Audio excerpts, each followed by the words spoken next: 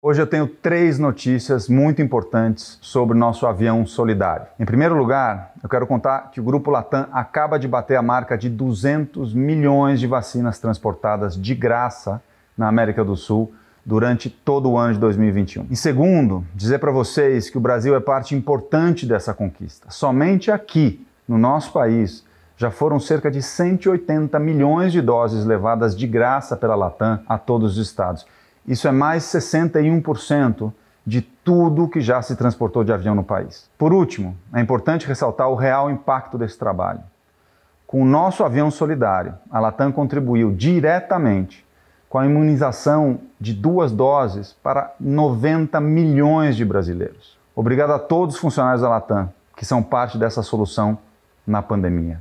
É isso que nos faz voar.